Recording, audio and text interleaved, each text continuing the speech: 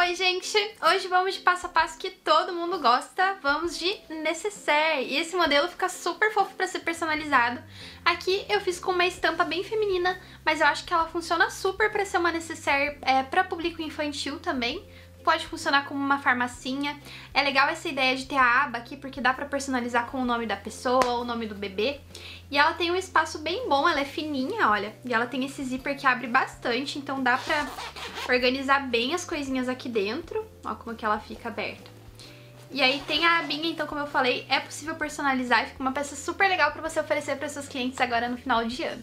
Espero que vocês aproveitem bastante esse passo a passo. Os tecidos que eu estou utilizando nessa peça você vai encontrar lá na loja Coisas da Teca, que é a nossa parceira, e você pode usar o cupom ARTDB nas suas compras para garantir um descontinho. Vamos ao passo a passo? Bom, pessoal, para nossa peça de hoje, vou deixar os moldes para vocês aqui na descrição do vídeo. O molde do corpo principal, ele é nesse formato e a gente vai cortar ele de forma espelhada no tecido principal e na manta. E eu vou deixar também o molde da nossa abinha. E a aba também, tecido principal, manta e forro. E o forro aqui do molde do corpinho da peça, eu sempre gosto de cortar um pouco maior, porque eu acho que fica mais fácil de costurar dessa forma. A aba eu também cortei o forro um pouquinho maior do que ela.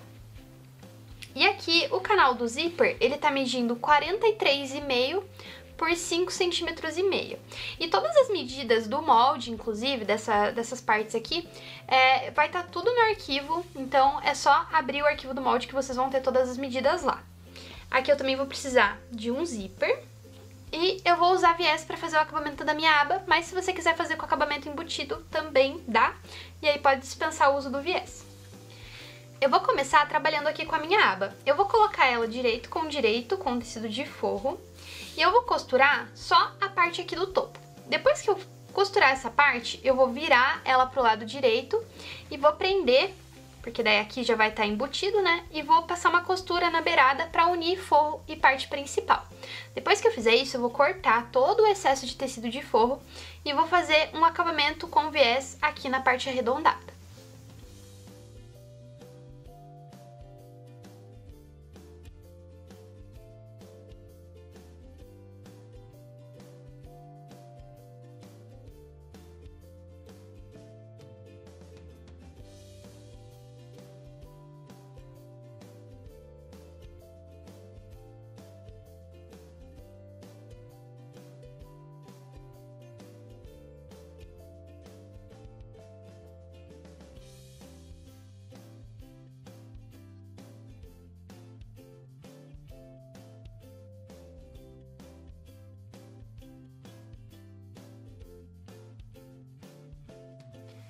Aba com acabamento pronto, ela vai ficar desse jeitinho aqui, ó, fica com o acabamento aqui em cima e agora a gente só precisa fixar ela aqui no corpo principal da nossa peça.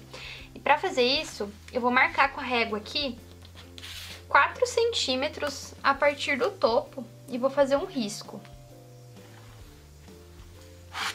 E aí eu vou costurar a minha aba, vou centralizar ela aqui e vou passar uma costura aqui. Eu gosto de passar essa costura da seguinte forma, eu começo aqui embaixo, subo uns três pontinhos, passo uma costura paralela, desço e dou um retrocesso aqui novamente, porque daí a aba fica bem firme aqui na nossa peça. Essa costura só não pode ir aqui pra essa parte de cima, tá? Porque essa parte a gente vai precisar costurar depois, então a gente precisa deixar ela livre. Essa costura tem que ser reta só aqui embaixo.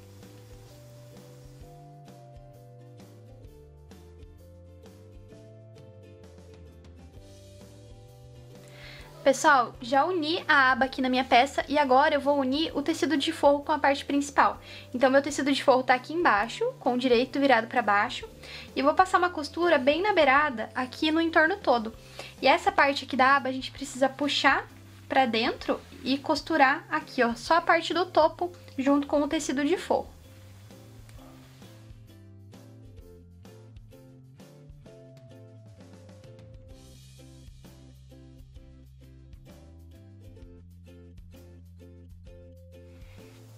Prontinho, já tá unido aqui então o tecido de forro com a minha parte principal, aba presa. E agora a gente vai reservar essa parte pra costurar o zíper. Eu também guardei os retalhinhos aqui que eu cortei do excesso de tecido de forro, que eu vou usar ele pra fazer o acabamento da parte interna depois. Aqui o meu, a minha canaleta do zíper, eu vou cortar ela ao meio. Ela tem 5 centímetros e meio, então eu vou colocar um pouquinho mais aqui do que 2,5 para cortar ela.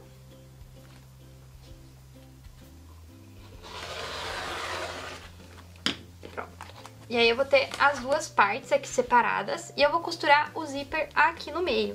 E como de costume eu deixo o tecido de forro junto, eu não corto ele e conforme eu vou costurando vocês vão vendo, mas eu já expliquei isso várias vezes aqui no canal. Então se tiver alguma dúvida, vou deixar um vídeo de apoio aqui no comentário fixado.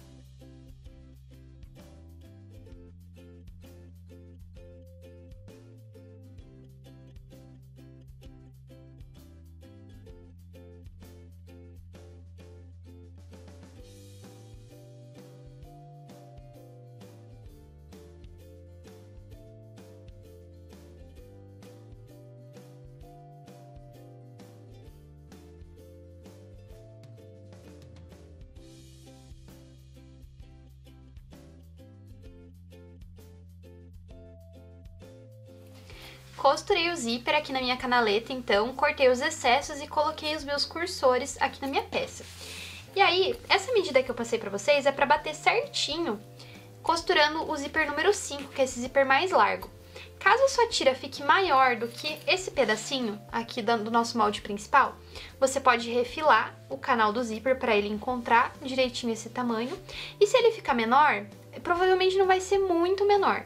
Então, a minha dica é que você centralize, marca, na hora que a gente for unir essa parte aqui no zíper, você vai centralizar direitinho, e aí depois você vai conseguir, é, quando for juntar no entorno da peça aqui, você iguala e vai ficar tudo certo, não tem problema. Antes de costurar o zíper na minha peça, eu já vou posicionar o meu viés de acabamento, porque eu acho que fica muito mais fácil fazer isso agora do que fazer depois. E para isso eu tô usando viés largo de 25mm, esse aqui é o pronto mesmo. Eu vou dobrar a pontinha dele. Vou encontrar ela bem aqui nessa parte reta, ó. E aí vou costurar a toda a volta. E quando chegar aqui na outra ponta, faço a mesma dobrinha. E eu vou repetir esse processo aqui do outro lado. Só que aí a gente vai jogar a aba lá pra baixo, pode prender com um alfinete ela lá, pra ela ficar no lugarzinho dela e não atrapalhar. E aí a gente também vai costurar o viés aqui nessa parte arredondada. Pessoal, aqui, como eu ainda não tô unindo a peça, eu não vou costurar nessa margem aqui do viés que a gente normalmente costura. Eu vou só prender ele pela beirada, porque daí depois essa costura não corre o risco de aparecer quando a gente for fechar a nossa peça.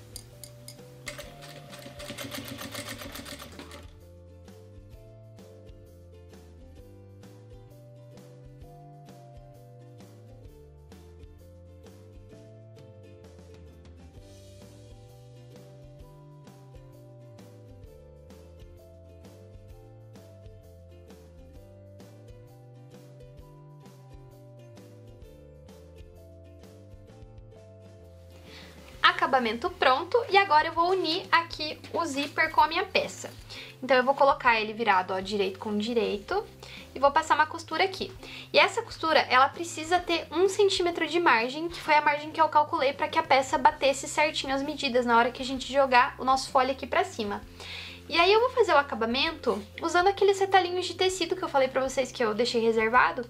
E eu vou fazer da seguinte forma, ó, eu vou costurar primeiro aqui, né, pra unir essa parte, aí depois eu vou colocar o meu tecido virado aqui direito com direito, passo a costura novamente e aí eu vou dobrar ele pro lado de dentro, pra formar como se fosse um viés, um debrum aqui de tecido, beleza? Daí é assim que eu vou fazer o acabamento nas duas pontinhas.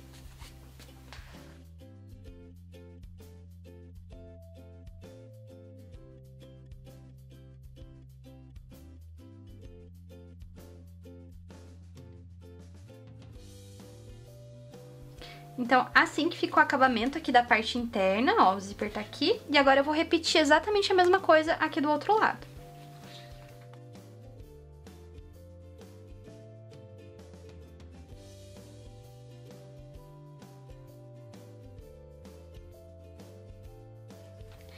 Gente, uni aqui o zíper, então, na minha peça. E agora é a parte mais legal, que é a de fechar a nossa peça e finalizar ela.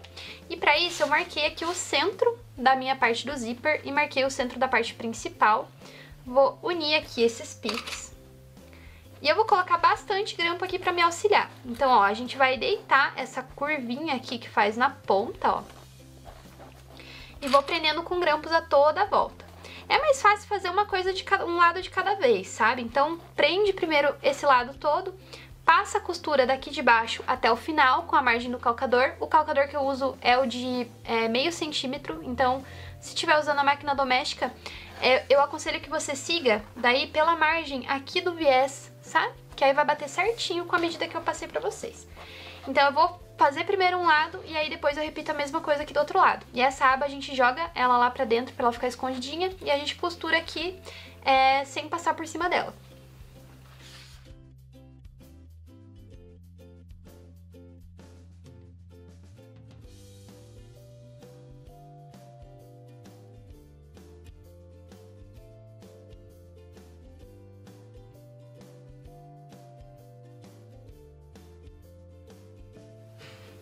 Pessoal, aqui para rebater o viés, é só dobrar ele por cima da nossa costura e vou passar a costurinha aqui por cima dele. Também mantendo a mesma margem, que aí vai ficar tudo direitinho.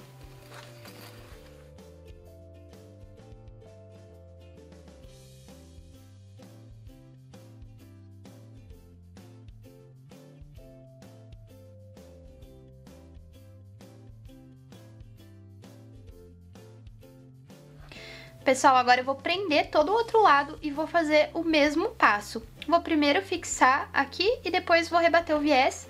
E aí ele vai ficar com esse acabamento aqui na parte interna e é só a gente desvirar aqui pelo zíper.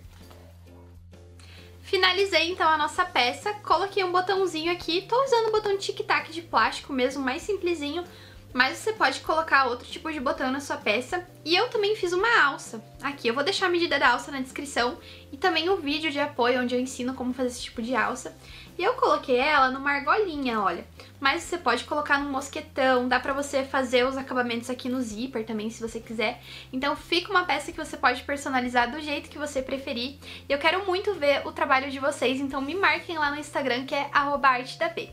Espero que vocês tenham aproveitado esse vídeo e se você gostou, se inscreva aqui no canal, toda semana tem passo a passo novo e também indica para suas amigas. Tchau e até a próxima!